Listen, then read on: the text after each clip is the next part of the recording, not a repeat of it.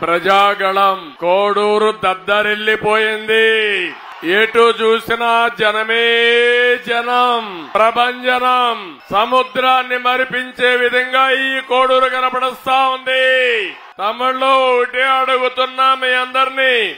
ఇది చూసిన తర్వాత ఎవడైనా గెలుస్తాడా అని నేను అడుగుతున్నా. గెలిచే అవకాశాలు ఉన్నాయని అడుగుతున్నా మిమ్మల్ని.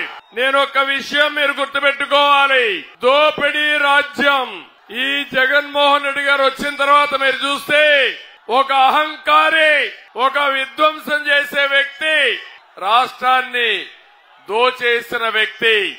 అతన్ని ఇంటికి పంపించాల్సిన అవసరం ఉందా లేదా అని మిమ్మల్ని అడుగుతున్నా. ఉంది అంటే గట్టిగా చేపట్లు కొట్టి చెప్పండి ఇంటికి పంపించాలని.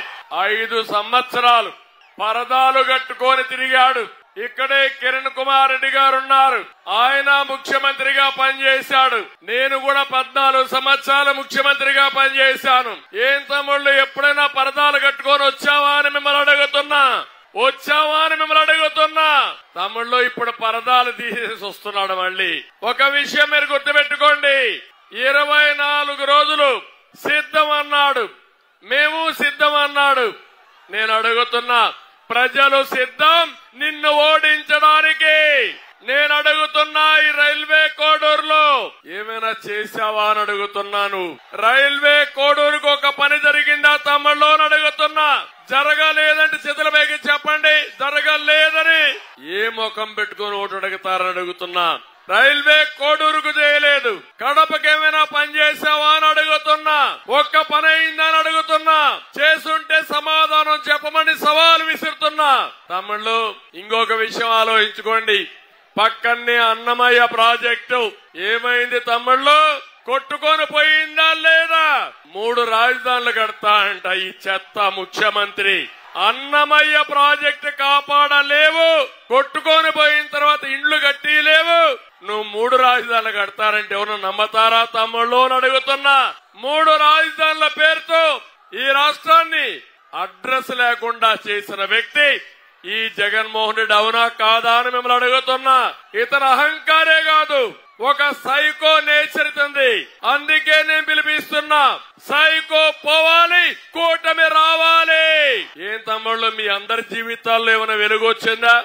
మార్పు వచ్చిందా? జీవన ప్రమాణాలు పెరిగాయా అని అడుగుతున్నా మిమ్మల్ని. మీ ఖర్చులు పెరిగాయా లేదా? మీ ఆదాయం పెరిగిందా అని అడుగుతున్నా మిమ్మల్ని. దీనికి కారణం ఎవరు తమ్ముడు? పాలకుడే కదా అని అడుగుతున్నా. నేను చాలా మంది ముఖ్యమంత్రులు చూశాను. ఇక్కడే మాజీ ముఖ్యమంత్రులు ఇద్దరు ఉన్నాం. కానీ ఇంత చెత్త ముఖ్యమంత్రిని నా జీవితంలో ఎప్పుడూ చూడలేదని మరొకసారి విజ్ఞప్తి చేస్తున్నా. ఏం తమ్ముళ్ళు? కరెంటు ఛార్జీలు పెరిగాయా లేదా? ఎన్నిసార్లు పెంచారు? ఏ ముఖ్యమంత్రి అయినా పెంచాడా అని మిమ్మల్ని అడుగుతున్నా. ఎన్నికల ముందేం చెప్పాడు మీకు? కరెంటు ఛార్జీలు పెంచరని చెప్పాడా లేదా అని అడుగుతున్నా మిమ్మల్ని. తొమ్మిది సార్లు. అంటే రెండు వందల రూపాయల కరెంట్ ఇప్పుడు ఎంత తమ్ముళ్ళో మీకు వెయ్యి రూపాయలు అవునా కాదా అని అడుగుతున్నా. ఆర్టీసీ రేట్లు పెరిగాయా లేదా? పెట్రోల్ డీజిల్ పెరిగిందా లేదా? నిత్యావసర వస్తువుల ధరలు పెరిగాయా లేదా? తమ్ముళ్ళు మద్యం ధర. మా తమ్ముళ్ళు కొంతమంది మద్యం బాబులు ఇప్పుడే ఉంటారు ఇక్కడే ఉంటారు. ఒక తమ్ముడైతే రికార్డు కార్డు పెట్టుకొని చూసి చూపిస్తున్నాడు. సార్ మళ్ళా కూటమి వస్తానే నాణ్యత కలిగిన మద్యం ఇవ్వండి. మా ఆరోగ్యం పోతా ఉంది. ఈ జలగా మమ్మల్ని దోచేస్తున్నాడు. మమ్మల్ని ఆదుకోమని ఒక తమ్ముడు ఇప్పుడే చెప్పాడు. తమ్ముళ్ళు నేను అడుగుతున్నా ఒక మాట. ఒకప్పుడు అరవై రూపాయల మద్యం. అవునా కదా? ఇప్పుడెంత క్వార్టర్ బాటిల్? రెండు వందలు. రెండు వందలంటే చూపేయండి చేయలు రెండు వేలు చూపేయండి అందరూ. ఆ నూట నలభై రూపాయలు ఎవరికి పోతున్నాయి? జగన్మోహన్ రెడ్డికి అవునా కాదా అని మిమ్మల్ని అడుగుతున్నా. ఇక్కడ అన్యాయం నాకైతే అర్థం కాలేదు. నాసి రకం మద్యం బాధ్యత లేని ముఖ్యమంత్రి పేదవాళ్ళని చితగా కొట్టే విధానం మీ ఆరోగ్యాన్ని పూర్తిగా నాశనం చేసి మా ఆడబిడ్డల మంగళ సూత్రాలు తెంపేసిన దుర్మార్గుడు ఈ జగన్మోహన్ రెడ్డి జలగని చెప్పి మీకు తెలియజేస్తున్నా. అన్ని విధాలా దోచుకున్నారు. నేను ఒక విషయం ఇక్కడ అడుగుతున్నా మీరు అందరున్నారు పాపాల పెద్దిరెడ్డి కూడా ఇక్కడ కూడా ఉన్నాడు.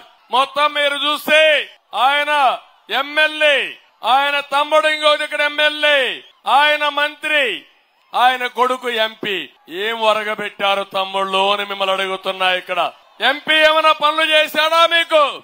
జరిగాయా మీకు? ఒక్కవి జరిగాయి కొన్ని. మీ వెరైటీస్ ఇక్కడే ఉంది. ఇది దోచుకున్న దొంగ ఎవడని అడుగుతున్నా మిమ్మల్ని.